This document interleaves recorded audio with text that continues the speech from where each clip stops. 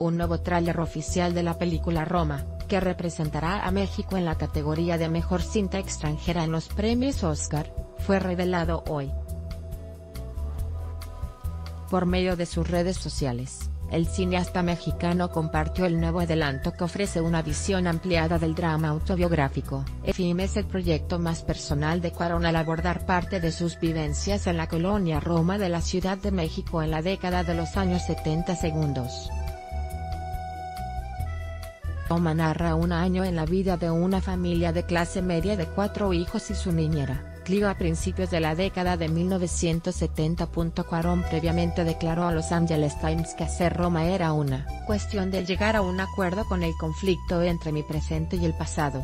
En el proceso hubo una tensión constante, estoy tratando de retratar esos recuerdos, pero a través del prisma de mi comprensión de hoy.